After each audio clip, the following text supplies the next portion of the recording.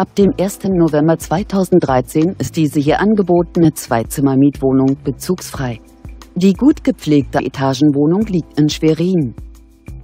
Die Wohnung verfügt über ein Badezimmer, ein Schlafzimmer, eine Einbauküche sowie einen Keller.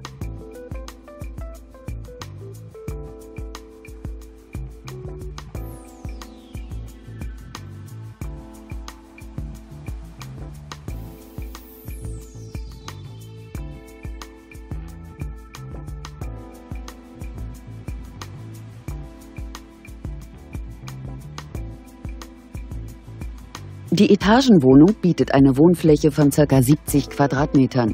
Die Gesamtmiete dieser Etagenwohnung beläuft sich auf 500 Euro.